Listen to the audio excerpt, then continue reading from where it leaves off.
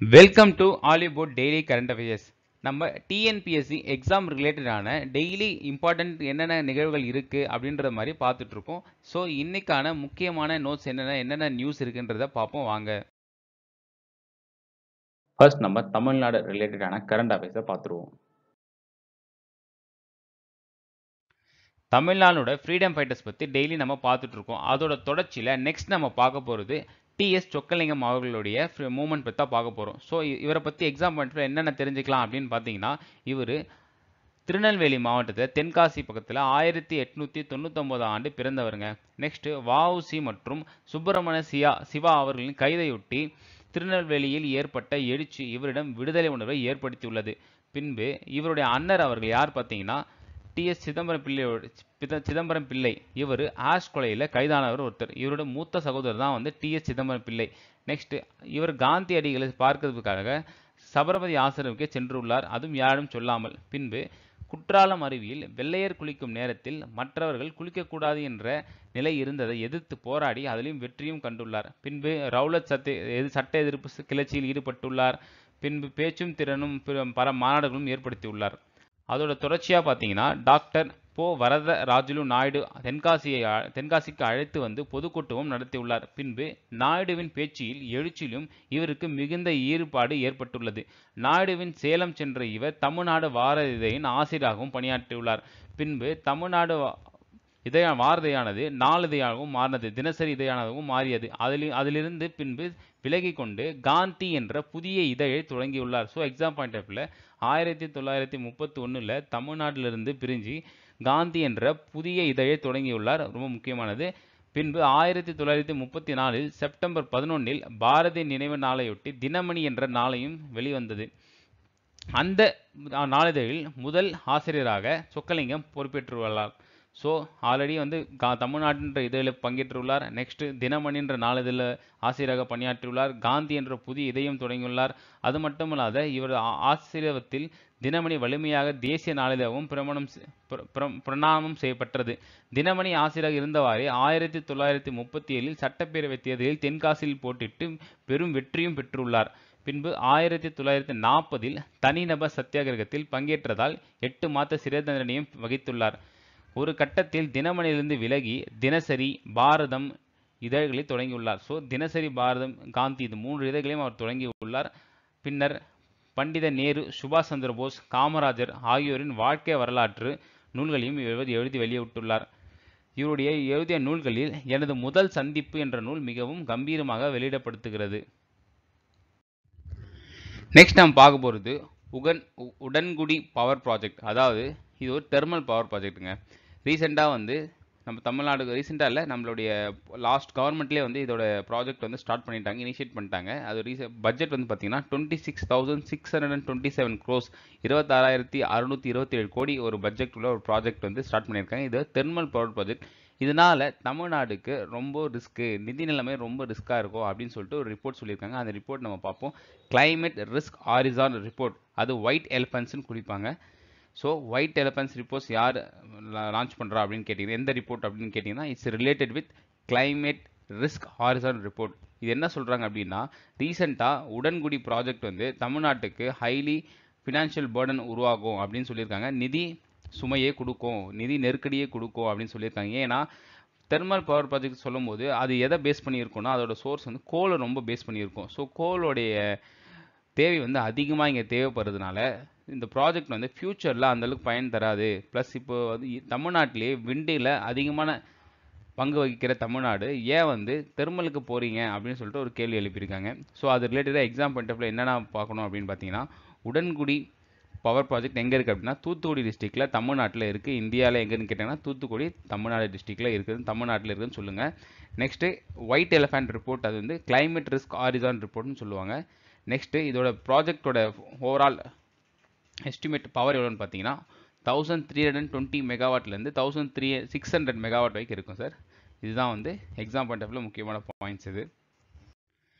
Next நம்ம பார்க்க போகிறது ரீசெண்டாக நம்ம சிஎம் அவர்கள் மூ நாலு இடத்துல வந்து இந்த வண்டியை ஓப்பன் பண்ணியிருக்காரு. என்ன வண்டின்னு பார்த்தீங்கன்னா இண்டிகோ டி வண்டி. அதாவது இண்டிகோ அப்படின்றால் இண்டிகோ சர்வ் அப்படின்ற ஒரு கூட்ட ஒரு கூட்டமைப்பு.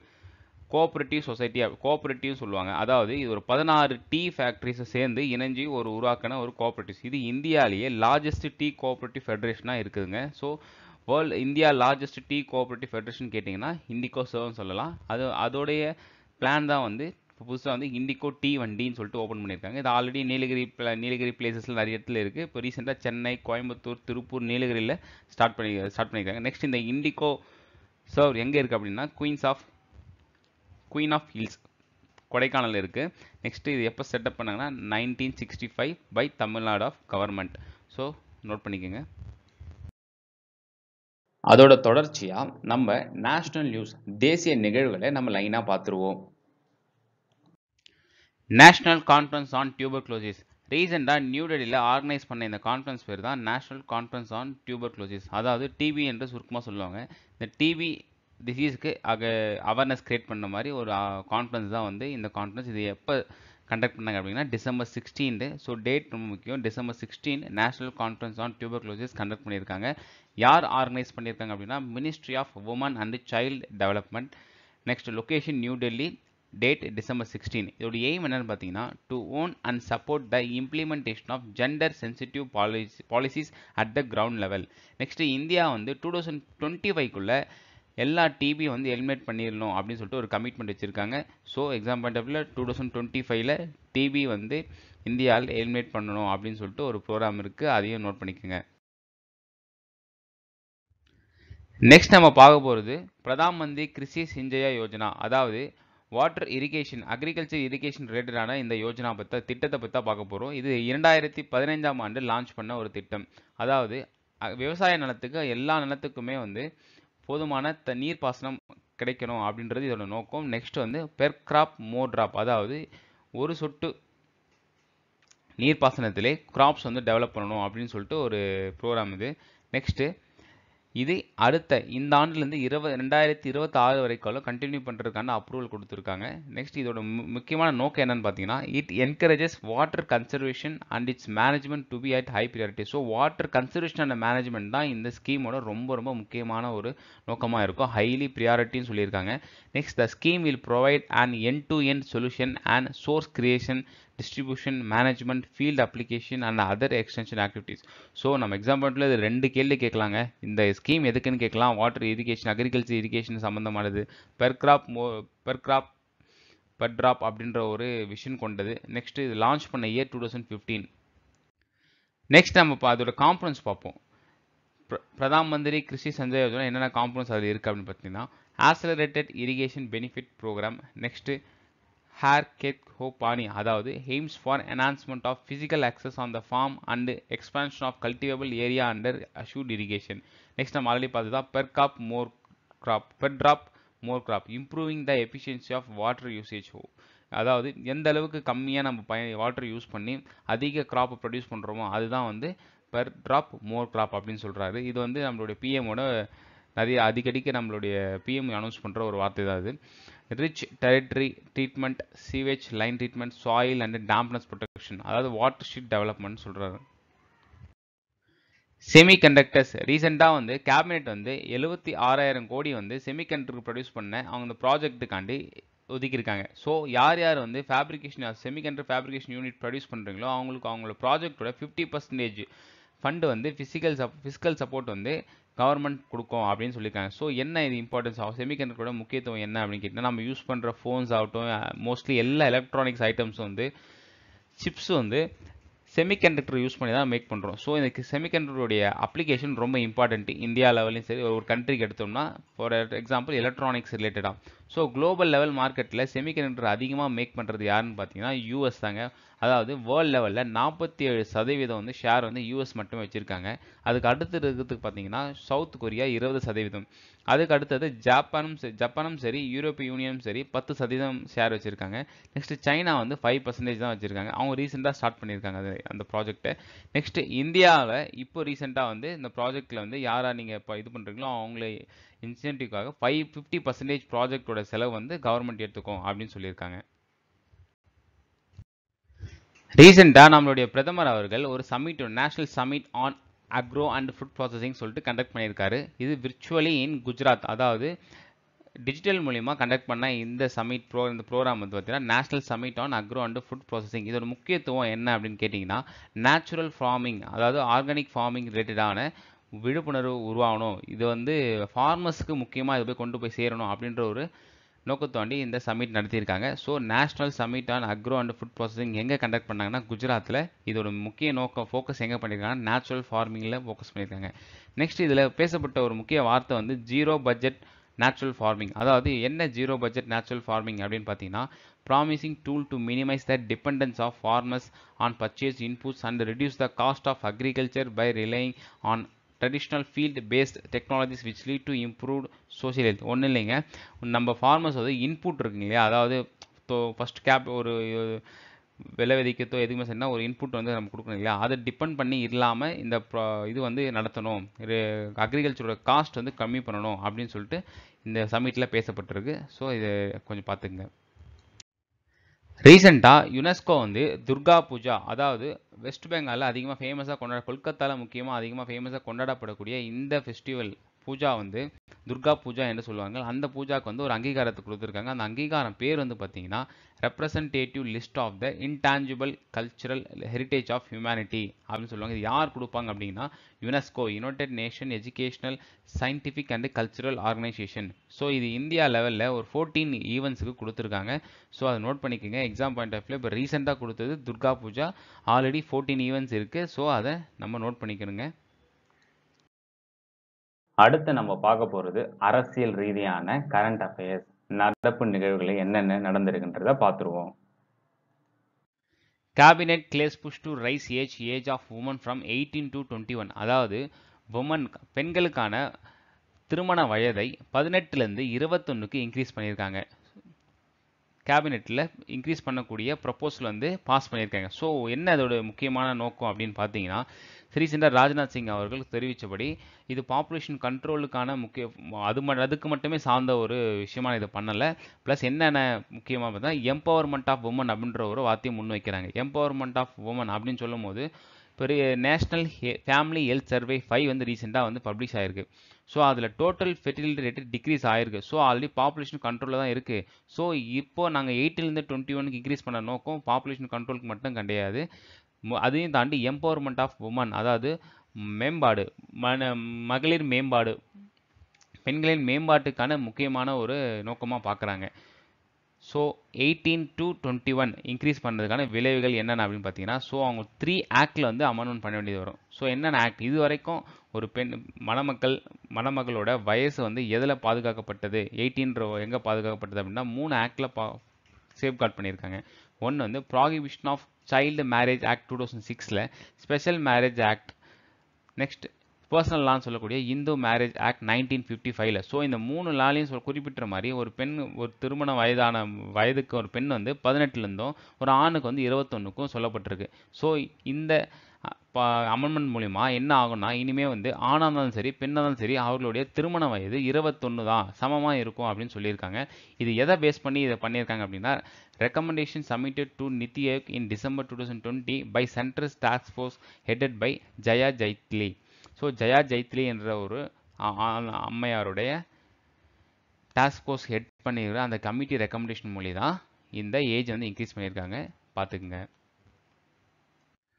ஸோ இன்றைக்கி எல்லாருக்குமே தெரியும் பங்களாதேஷ் வாரோடைய வின்னிங் டே அதை செலிப்ரேட் பண்ணக்கூடிய தினமாக இருக்குது ஸோ அதில் முக்கியமான பாயிண்டில் என்னென்ன நபர்கள் பார்ட்டிசிபேட் பண்ணியிருக்காங்க எக்ஸாம் பாயிண்ட்டில் என்னென்ன பாயிண்ட்ஸ் இருக்கலாம் அப்படின்றத பாருங்கள் மார்ச் நைன்டீன் செவன்ட்டி ஒனில் ஷேக் முஜிபர் ரஹ்மான் அதாவது அவாமி லீக் என்னக்கூடிய பார்ட்டி பா ஈஸ்ட் பாகிஸ்தானில் ரொம்பவும் மெஜாரிட்டியான இருக்கிற ஒரு பார்ட்டி அந்த டைமில் அந்த எலெக்ஷனில் வின் பண்ணிட்டாங்க.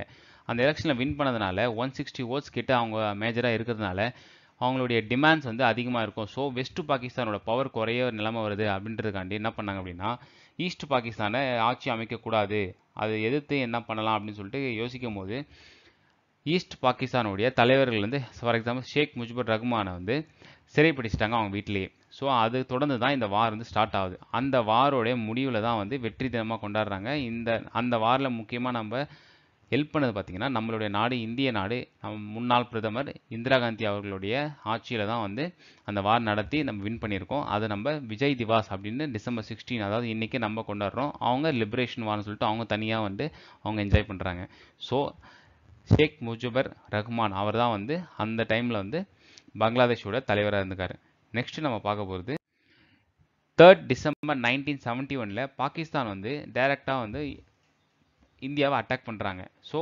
அப்போது இந்தியா வந்து நாங்கள் டிக்ளேர் பண்ணுறோம் வாரை பாகிஸ்தான் அகேன்ஸ்டா அப்படின்னு சொல்லிட்டு சொல்கிறாங்க ஸோ நம்ம பங்களாதேஷ் வாரில் எப்போ ஃபஸ்ட்டு வாரை டிக்ளேர் பண்ணோம் அப்படின்னா த்ரீ டிசம்பர் நைன்டீன் செவன்ட்டி ஒனில் நெக்ஸ்ட் அதை தொடர்ந்து எயித்து டிசம்பரில் ஆப்ரேஷன் பைத்தான் அப்படின்னு சொல்லிட்டு நேவல் இந்தியன் நேவி வந்து கண்டக்ட் பண்ண ஒரு ஆப்ரேஷன் தான் வந்து ஆப்ரேஷன் பைத்தான் அதாவது டைரக்டாக பாகிஸ்தான் கராச்சி அட்டாக் பண்ணுற அந்த operation next sixteenth December east பாகிஸ்தானில் ஆர்மி வந்து ஃபுல்லாக சரண்டர் ஆகிட்டாங்க பாகிஸ்தான் ஆர்மி ஃபுல்லாக வெஸ்ட் பாகிஸ்தான் ஆர்மி ஃபுல்லாக ஈஸ்ட் பாகிஸ்தானில் சரண்டர் ஆனதுனால வார் வந்து முடிவுக்கு வருது. அந்த தினம் தான் வந்து சிக்ஸ்டீன்த் டிசம்பர் பங்களாதேஷ் வார் அப்படின்னு சொல்லி முடிவுக்கான வின்னிங் டேவாக கொண்டாடப்படுது.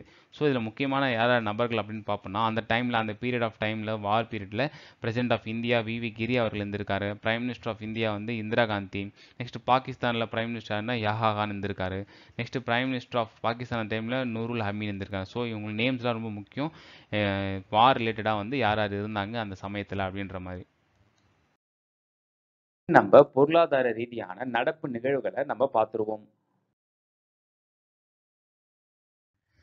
ரீசெண்டாக கேபினெட் வந்து தேர்ட்டின் பில்லியன் இன்சென்டிவ் பிளான் வந்து ரூபே டொமஸ்டிக் கார்டு வந்து டெவலப் பண்ணுறதுக்காண்டி ப்ரமோட் பண்ணுறதுக்காண்டி சாங்ஷன் பண்ணியிருக்காங்க. ஸோ இது என்ன முக்கியமான அம்சம் அப்படின்னு பார்த்தீங்கன்னா எக்ஸாம் பாயிண்ட் ஆஃப்ல ஒரே ஒரு பாயிண்ட் தாங்க. From April two thousand twenty ஒன்லேருந்து பிலோ டூ தௌசண்ட்க்கு டிரான்சாக்ஷன் டிஜிட்டல் டிரான்சாக்ஷன் பண்ணக்கூடிய அதுவும் முக்கியமாக ரூபே டெபிட் கார்டு மூலிமா பண்ணக்கூடிய டிரான்சாக்ஷனுக்கு ப்ராசஸிங் ஃபீஸ் அவங்களே எடுத்துப்பாங்க. ஸோ அதுதான் வந்து இந்த பிளானுடைய முக்கிய அம்சம். ஸோ எந்த ரீசெண்டாக எந்த கார்டுக்கு வந்து ருப்பேவா மாஸ்டரா விசாவா அப்படின்னு இருக்கீங்களா எந்த கார்டுக்கு வந்து அந்த இந்த பிளான் கொடுத்துருங்க அப்படின்னா இது ரூபே கார்டு கொடுத்துருக்காங்க. அதை மட்டும் நோட் பண்ணிக்கோங்க. நம்ம அறிவியல் சம்பந்தமான கரண்ட் அஃபேர்ஸை பார்த்துருவோம். ரீசெண்டாக நம்மளுடைய Indian Institute of Astrophysics Bengaluru விஞ்ஞானிகள் என்ன கண்டறிஞ்சிருக்காங்க அப்படின்றத பார்ப்போம். ஸ்மாலர் சோலார் அதாவது வானில் எரிந்து கொண்டிருக்கும் சூரியனில் அவ்வப்போது வெடிப்பு ஏற்பட்டு சூரிய புயலாக வெளிப்படும் அப்படின்னு சொல்லியிருக்காங்க. ஸோ நம்ம மோஸ்ட்லி இமேஜஸில் பார்ப்போம். சோலார் இமேஜில் வந்து சோலார் ஃப்ளாஷ் சொல்லுவாங்க சோலார் ஸ்டோம்ஸ் சொல்லுவாங்க. அதுதான் சொல்லியிருக்காங்க. நெக்ஸ்ட் அதோட முக்கியமான விஷயம் கடந்த பன பதினோரு ஆண்டுகளாக சூரியனின் செயல்பாடு செயல்பாட்டின் தீவிரம் குறைந்துள்ளது அப்படின்னு கண்டுபிடிச்சிருக்காங்க. நெக்ஸ்ட்டு கடந்த நூறு ஆண்டுகளில் இரண்டாயிரத்தி பத்தொன்பதாம் ஆண்டில் சூரியனின் செயல்பாடும் தீவிரமற்ற நிலையில் உள்ளது அப்படின்னு சொல்லியிருக்காங்க. ஸோ லாஸ்ட் ஹண்ட்ரட் இயர்ஸில் எந்த ஆண்டு வந்து சூரியனோட செயல்பாட்டு மிகவும் கம்மியாக இருந்தது தீவிரமற்ற நிலையில் இருந்தது கேட்டாங்க அப்படின்னு சொன்னீங்கன்னா two thousand nineteen so exam point இந்த லைன் மட்டும் ரொம்ப முக்கியமானது. ஸோ அதை மட்டும் நோட் பண்ணிக்கோங்க. India's first green hydrogen based energy storage project அதாவது ஹைட்ரோஜன் ஃபியூல் மூலிமா யூஸ் பண்ணி ப்ரொடியூஸ் பண்ணக்கூடிய எனர்ஜியை வந்து நம்ம யூட்டிலைஸ் பண்ணுறது தான் வந்து இந்த ப்ராஜெக்டோட நோக்கம். ஸோ அதாவது ஹைட்ரோஜன் இப்போ இந்த இமேஜில் பார்ப்பீங்க ஹைட்ரோஜன் ஃபியூல் டேங்க் மூலிமா யூஸ் பண்ணி அதுலேருந்து ஒரு ஹை எலக்ட்ரோலைசர் ஆனோட் கேத்தோட அதெல்லாம் பார்ப்பீங்க அதை யூஸ் பண்ணி அது எனர்ஜி ப்ரொடியூஸ் பண்ணி அதை நம்ம யூட்டிலைஸ் பண்ணிக்கிறது தான் வந்து இந்த ப்ராஜெக்டோடைய அம்சமே. இது ரீசெண்டாக எங்கே தொடங்கியிருக்காங்க அப்படின்னு பார்த்தீங்கன்னா விசாகப்பட்டினம் ஆந்திராவில் இது என்ன முக்கிய இது காரணம் என்னன்னு பார்த்தீங்கன்னா இரண்டாயிரத்தி எழுபதுக்குள்ளே நெட் கார்பன் நியூட்ரல் அதாவது நெட் ஜீரோ எமிஷன் இந்தியா வந்து அட்டைன் பண்ணணும் சஸ்டெயின் பண்ணணும் அப்படின்னு சொல்லிட்டு கமிட்மெண்ட் கொடுத்துருப்போம். நம்ம சிஓபி டுவெண்ட்டி சிக்ஸில் ஸோ அதுக்கான ஒரு விஷனாக இருக்கும் அப்படின்னு சொல்லியிருக்காங்க. நெக்ஸ்ட் நம்ம பார்க்கும்போது ரொம்ப முக்கியமான ஒரு விஷயம் பார்க்கர் விண்கலம். அதாவது வரலாற்றிலேயே முதல் முறையாக ஒரு விண்கலம் சூரியனை தொட்டது என்றால் அது வந்து இந்த மிஷன் தான் வந்து பார்க்கர் விண்கலம். பார்க்கரம் ஏவுகணை தான் முதல் முதல் தொட்டது அப்படின்னு சொல்கிறாங்க ஸோ ஏழு ஆண்டுகள் இந்த விண்கலம் சூரியனை இருபத்தி நான்கு முறை நீள்வட்ட பாதையில் வலம் வரும். அதாவது ஏழு ஆண்டுகள் வரை இருபத்தி நாலு வரை இருபத்தி நாலு முறை நீள்வட்ட பாதையில் வலம் சொல்கிறாங்க மனிதர்களால் உருவாக்கப்பட்டு வரலாற்றில் இதுவரை இல்லாத அளவுக்கு அதிவேகத்தில் பாய்ந்து செல்லும் பொருள் என்ற சிறப்பும் உள்ளது. உயிரோடு இருக்கும் விஞ்ஞானியின் பெயர் சூட்டப்பட்டுள்ள முதல் விண்வெளி ஆழ் ஆழ்வுக்களமும் இதுவே. தேங்க்யூ ஃபார் வாட்சிங் ஆலிபோர்ட் கரண்ட் அஃபேர்ஸ் டெய்லி நம்மளுடைய ஹாலிவுட்ல கரண்ட் அஃபேர்ஸ் அப்லோட் பண்ணுறோம் டெய்லியும் பார்த்து எக்ஸாம் பாயிண்ட் ஆஃப் வியூவில் நோட்ஸ் எடுத்துக்கங்க. என்ஜாய் பண்ணுங்கள் next TNPSC group one group two group two A four VAO படிக்கிற மாணவர்களுக்கு வந்து ஆலிவ் போர்டில் எக்ஸாம்ஸ் வந்து கண்டக்ட் பண்ணுறாங்க kindly go through the website website போய் பாருங்கள் உங்களுக்கு பிடிச்ச பிளானை சப்ஸ்கிரைப் பண்ணி எக்ஸாம் பாயிண்ட் ஆஃப் வியூவில் யூஸ்ஃபுல்லாக டிப்ஸ் எடுத்துக்கங்க. All the best for the coming exam